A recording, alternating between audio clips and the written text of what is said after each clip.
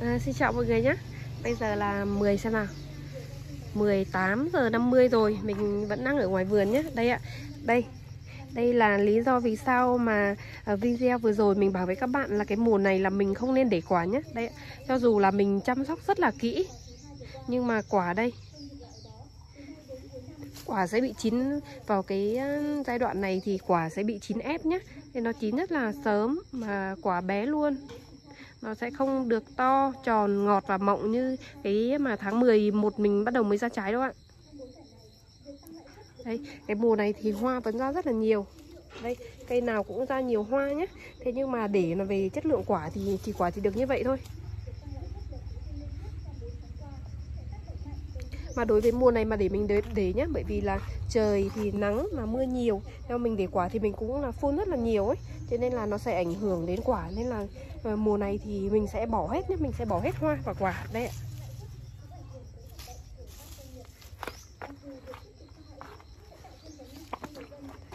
Đây video vừa rồi mình ờ, lúc mình ờ, đưa lên ấy thì cây thì lúc đấy chưa phục hồi. Đấy sau một thời gian thì cây phục hồi như vậy rồi nhé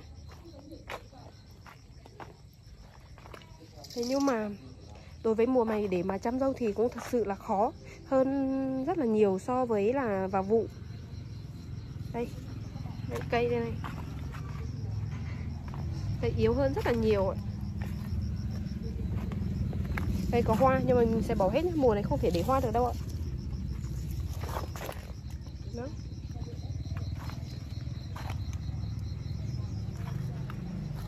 À, vừa rồi sau khi tưới đạm cá thì mình có tưới đây ạ.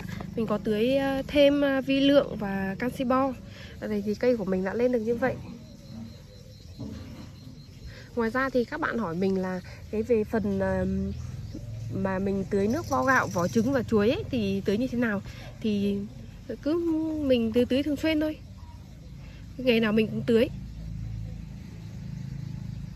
và trong mình có thể là mình tưới nhá. Mình tưới trong vòng một tuần thì 7 ngày đi thì mình ờ, có thể là một hai ngày mình bỏ mình lại tưới tiếp.